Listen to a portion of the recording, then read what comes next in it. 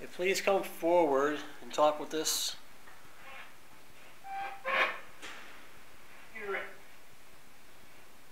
Spirit. That sounds like somebody kind of beating on the thing in there. Do you guys hear that?